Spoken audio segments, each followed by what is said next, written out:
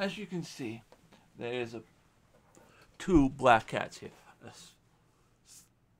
a one with intelligence and one without intelligence. That's because I bought a playset, which gave me the original three power card, and then the upgraded.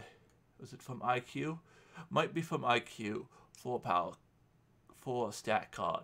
But anyways, the theme for this Poison Ivy, Huntress, Thorn, and Black Cat are femme fatales. Because whether they're good guys or bad guys, they whether you're a hero or a villain, you can be a femme fatale.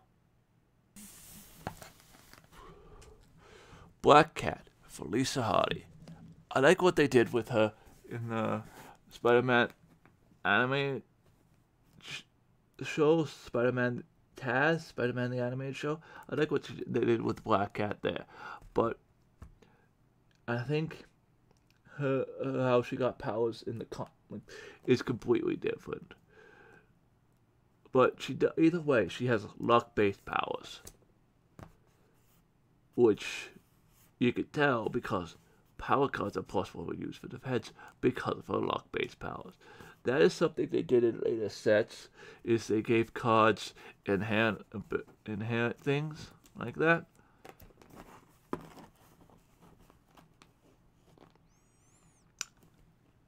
Like a black cat crossing his path.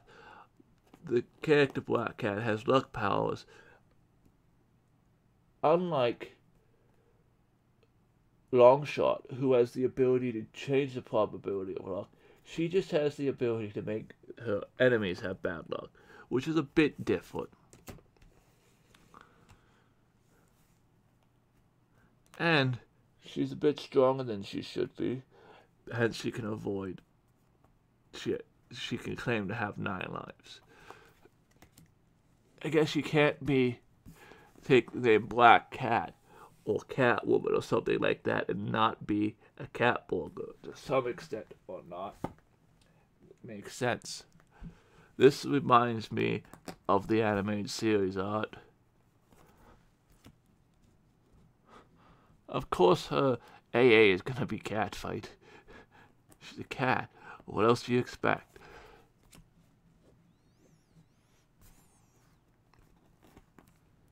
As I was saying earlier, her powers, I think she has powers in the comics, are all around bad luck.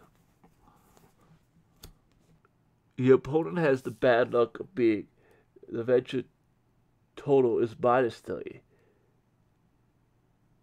Oh.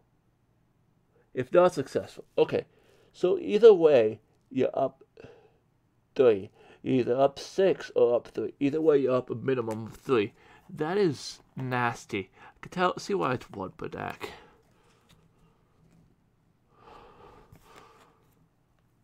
Uh, as I said, they're all femme fatales.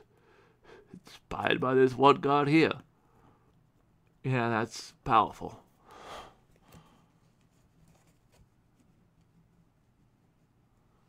I don't get this god. I don't know the. Yeah, me rephrase that. I don't know the lore behind this, but I guess femme fatales are really good against males. I guess that's what that's about. Poison Ivy, Pamela something or other, who was made into a supervillain, given her powers because the Floronic Man wanted to see what this injection of toxins would do to a human being. And then, uh, since she has control over plants, it's gonna and can make them enormous size.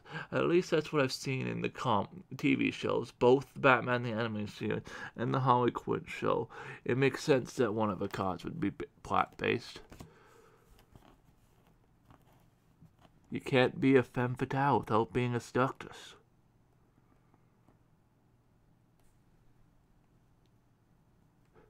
And that basically does what a seductress does.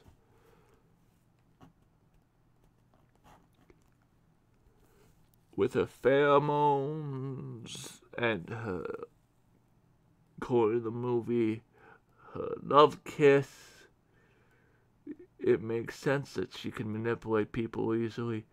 That and people always love a redhead. At least that's what the media's taught me to believe. Thorn.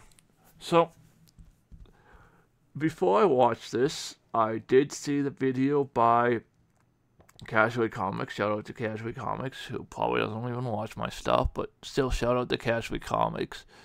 And Thorn is a character who's has two personalities, Rose and Thorn.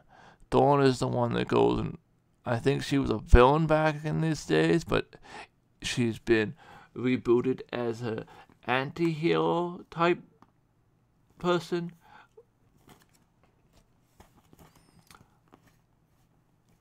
I can't remember if she originated in Gotham or Metropolis, but it had to be one of the two for this. And that looks painful. That looks like she's kneeing him in the balls, which looks painful. Of course, if she's a thorn, she has to have a thorny whip for her, because thorn, rose, whip, yeah, yeah, playing the theme, yep, yep, yep. I want those daggers. Those daggers look nice. You would not be able to get away with that. You would not be able to get away with those daggers on the Batman animated TV show. That's for sure.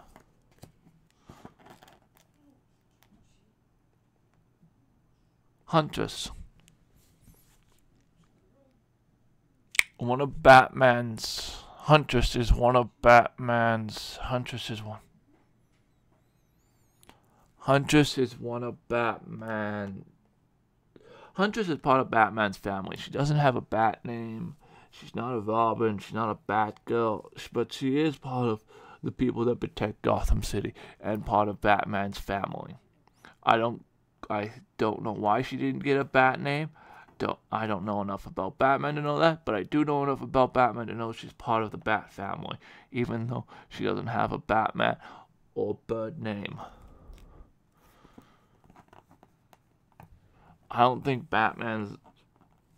I guess Batman's would be happier with people using crowbars and guns, but I think crowbars would fall under the no gun rule for the same reason that guns fall under the no gun law. The throwing knives, those are batarangs. You can't look at that picture and not say that those are batarangs, because that's exactly what those are. Those are batarangs. I don't know who on Dick Grayson was also a trained gymnast. The gymnasiast. I don't know. I am pretty sure any one of the Bat family could win the Olympics at gymnastics at this point. That's how trained of gymnastics gymnasts they are.